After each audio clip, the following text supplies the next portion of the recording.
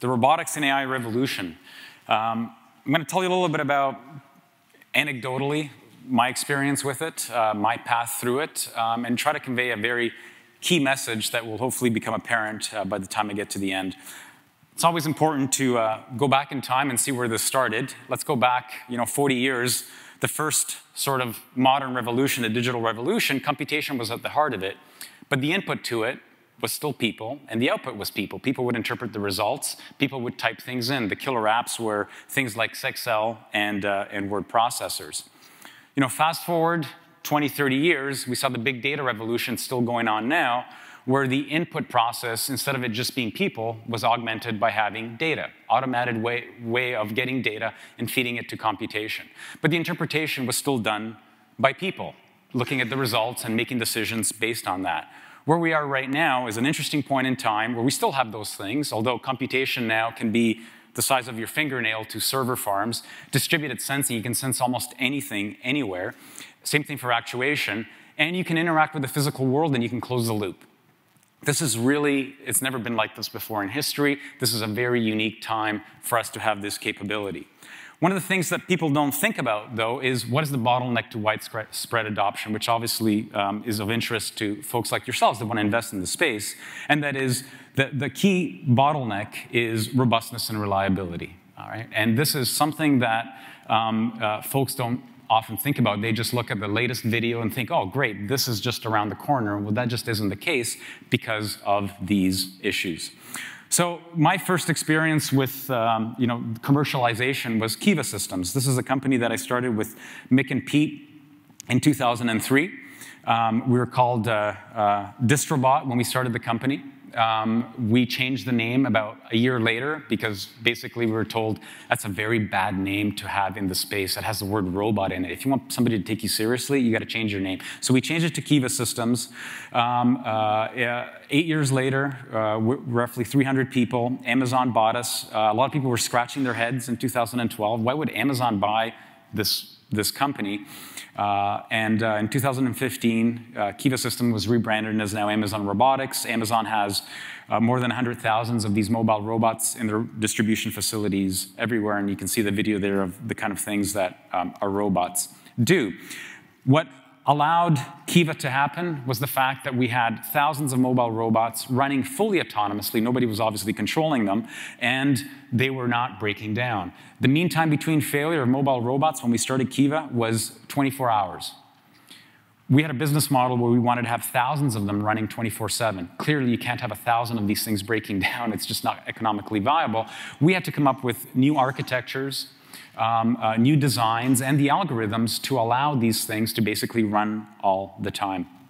In 2008, uh, about five years into Kiva, the part that I was responsible for, the robotics part, was well established and was more about scaling the business. So I decided to go back into academia.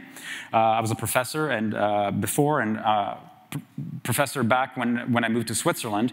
And I started to do research on things that I had put on hold to do Kiva, which was flying machines, drones.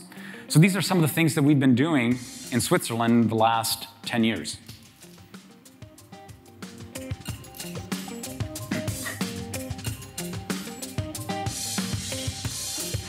This is fully autonomous.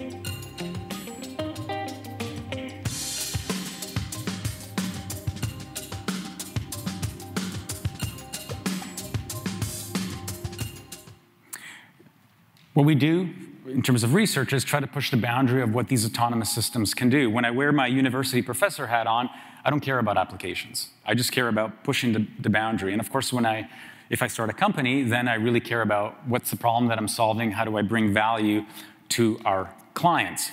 Um, back to drones, you know, what can you use them for? These are things that people think about. Uh, this is where the market currently is, and it's a multi-billion dollar market already. Inspection, agriculture, the key idea there is to sense things, uh, put drones with cameras or other sensors in hard to reach places. Uh, photography and film, a lot of it is hobbyist, but also professional productions. And package delivery, what you heard from Google and Amazon, the, the idea here of moving packages, especially for the last mile, but also for things like uh, uh blood samples or um, things that have a high um, uh, value to uh, weight ratio. But there's other things that you can use the technology for. Uh, I'm going to tell you a little bit about, I'm going to show you a little video here of what my company Verity does. Um, uh, and um, uh, it's an application of drones that people don't really think too much about. For us, it's an interesting way to push the boundary of what you can do with this, with, with this technology.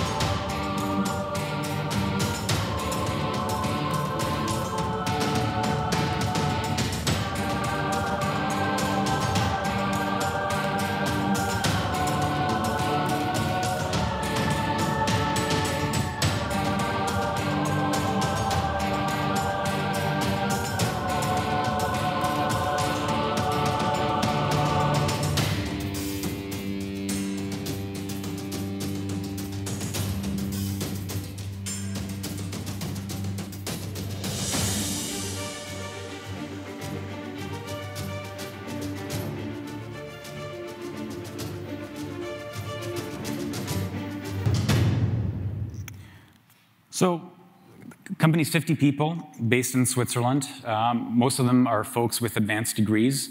Uh, we've done some very high-profile events. We're currently on tour with Metallica. We've done the Madison, uh, the Knicks pregame show, Madison Square Garden last year. Um, we were on Broadway with uh, Cirque du Soleil. We did 400 shows. I'll say a little bit more about that later, um, and other uh, events. What's interesting about live events is that it's a, you know, outside of it being an interesting vertical for robotics and AI that is uh, greatly unexplored, not just for drones, but any sort of uh, automation and intelligence, um, it's a great incubator to test this technology. We have over 40,000 flights flying over people. Uh, this is what we've been able to do. Um, uh, our systems are operated, the one on Broadway is operated by the carpenter. That's the name for the folks that run the automation equipment on Broadway. 400 shows, fully autonomous drones operated by their folks. Uh, in Metallica, it's the roadies, they're, they're, the, the folks that are running the system are not us, right? So we're learning huge amounts how to interface people to these types of systems and learning a lot to improve what these things can do. And as was mentioned earlier, We're also on tour with Drake at the moment. What's interesting about this technology is it can be used for other things besides live event, and this is, this is the whole incubator aspect uh, of the technology. And here's one way in which you could use them. We've developed this proprietary technology that allows an unlimited number of objects to localize themselves in space, and we've created these very safe and reliable small drones that can use that technology. And you can use them in any indoor space, because you don't have to worry about the, the elements, to do things like data collection, inspection, and, uh, and monitoring. So here you see a, a, an application where they could fly around a warehouse, do things like read barcodes, um, to make sure that things are where they're supposed to be. These things are extremely small and light, right? So you don't have to worry about safety. They don't make very much noise. They're autonomous. They're not being controlled by a human being. They, there's a mission planner that figures out where, where they need to go and what they need to do. They can do things like, you know, go ahead and charge, take off, and continue the mission. So this is, a, this, this is an interesting application of the technology for, for indoor spaces. Um, and then there's the whole safety aspect of it. Um, so we did 400 shows on Broadway with our drones. And stuff like this did not happen. Okay? Um, this would have been catastrophic if that, this was from about two years ago. We did 400 shows on Broadway flying over performers, again, fully autonomous. And the reason that we were comfortable doing that was because of this amazing technology that we developed to make vehicles robust to any single point of failure. Um, why is that important? Well, that's one example there. Here you see a, um, uh, uh, another scenario. This drone is actually dropping candy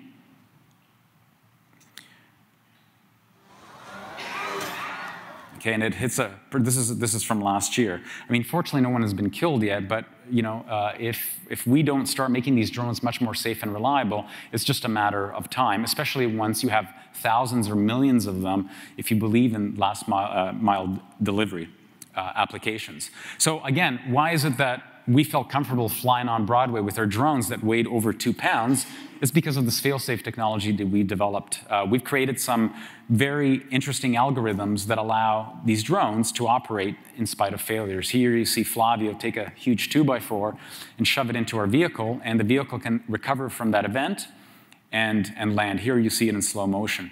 This technology allows anything to fail motors, propellers, batteries, electronics, you name it, this thing can still fly. So it's an interesting business model of using live events as an incubator to develop this technology, and now we're actively licensing uh, this technology, and hopefully uh, it will find its way in every single drone that you, that you find, make them much safer and reliable. I'm going to close off here with the few minutes that I have remaining to kind of emphasize, even though it seems, you know, uh, that I've been at the center of a lot of these uh, innovations, the reality is, is the future is impossible to predict. Uh, it's very difficult to figure out what is, what is going to be a winner and what is going to be a loser. And I have three anecdotes to, to um, kind of highlight this point. So the first is, is with Kiva.